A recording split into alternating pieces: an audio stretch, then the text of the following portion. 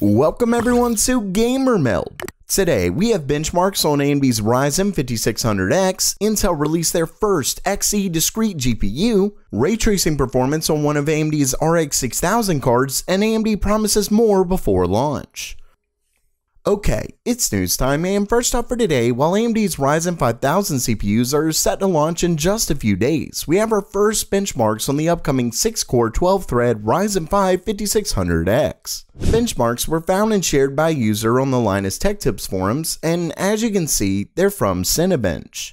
Now, the user did overclock it to 4.7 GHz across all cores, so keep that in mind when going over performance. As for the scores, in Cinebench R15, the 5600X got a single core score of 258 and a multi core score of 2040. In Cinebench R20, it got a very impressive single core score of 609 and a multi core score of 4746. And both of those scores completely crush Intel's 10600K and even gets close to AMD's 8 core 16 thread 3700X in multi core performance. Basically, AMD's 5000 series processors are as impressive as we thought. Of course, with all the new hardware coming out, saving money is likely a priority. And that's where today's sponsor comes in Honey the completely free browser extension that finds promo codes so you don't have to. That's right, no more going through 100 coupon sites to find deals that work. Simply install Honey for free in just a couple clicks. Then when you're checking out on one of the 30,000 supported sites, Honey pops up, you click apply coupons and if it finds working codes, you watch the prices drop. That's it. And with over 100,000 five star reviews, what are you waiting for? Get Honey for free today by visiting joinhoney.com slash gamermeld. And thanks to Honey for sponsoring today's video.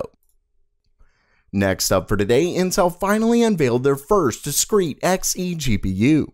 It's called the Iris Xe Max, and it's a part of their Xe LP architecture and that means it is a mobile discrete GPU, but this is still quite interesting as it gives us an idea of where Intel compares architecturally to competitor GPUs. Starting things off, the GPU comes with 96 EUs, which is the same as what's in their Tiger Lake iGPU. The Xe Max comes with a frequency of 1.65 GHz and 4 GB of LPDDR4X memory for a total bandwidth of 68 GB per second. As for release, Intel has three laptops planned for release this month, so they're coming quite soon. Luckily, an outlet already got a hold of the Acer Swift 3X equipped with the Xe Max, and we already have our first benchmarks. The scores come from a video by OVO on Bilibili, and in it, they actually had driver issues since they don't have the final drivers, but that just means we can expect even more performance out of the final product. Either way, they did share a benchmark from 3DMark's TimeSpy and Firestrike, and we can actually compare these numbers to NVIDIA's mobile GPU, the MX450, thanks to Notebook Check. As you can see, the Xe Max lost in Firestrike but took the win in TimeSpy. Now, what's interesting is that the MX450 is a Turing-based GPU, so it's not NVIDIA's newest architecture, but it's also not Pascal or anything like that. I like to compare these two because they're aimed at similar markets and both have the same TDP. Obviously though, we'll have to wait to see how this translates into higher end products, but Intel could be quite competitive. Time, as always, will tell. Lastly for today, while AMD has released quite a few gaming benchmarks on the upcoming RX 6000 series of GPUs, the one thing they seem to conveniently leave off, and I mentioned it in my video after their announcement, was real-time ray tracing performance. In fact, AMD barely discussed it during the announcement except to say that the RX 6000 series has it. Well, in a new post by PJ on Twitter, who's the editor of Uniko's Hardware, and according to VideoCardz, the site has proven to give quality leaks in the past, so this should be accurate. Anyway, he shared a leak of the RX 6800 non-XT model running Shadow of the Tomb Raider with ray tracing on. Apparently the shadow quality was set to high, and the 6800 got 46 frames per second at 4K and 80 FPS at 2K. Now, what's interesting is that WCCF Tech made some charts comparing them to the RTX 3070 and 2080 Ti with NVIDIA's DLSS tech on and off. And as you can see, with DLSS off at 4K, AMD's RX 6800 gets just over 21% better performance over the RTX 3070. But when you turn DLSS on, the 3070 beats the 6800 by a little over 17%. Now, keep in mind that this was run with the Ryzen 5 3500X, which means it couldn't use AMD's new Smart Access memory, though I doubt it could completely make up for the difference.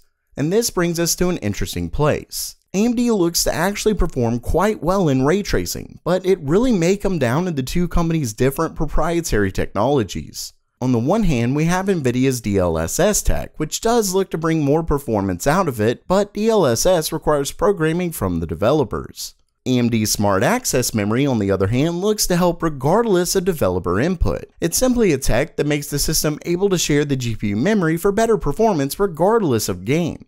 So it really just depends on whether or not you think developers will use DLSS a lot. Of course, this is just one GPU and a couple benchmarks from one game. Also, AMD could have their own DLSS equivalent coming soon as well. Remember that both of these technologies are completely different and really have nothing to do with each other, it's just one has one and the other doesn't. Luckily, we won't have to wait too long for official answers, as AMD's own Frank Azor replied to a tweet regarding real-time ray tracing and upscaling. In his reply, he stated, quote, those answers will come between now and our availability dates. So for anyone who wants definitive answers on things like RX 6000 ray tracing performance, we will hear something before release.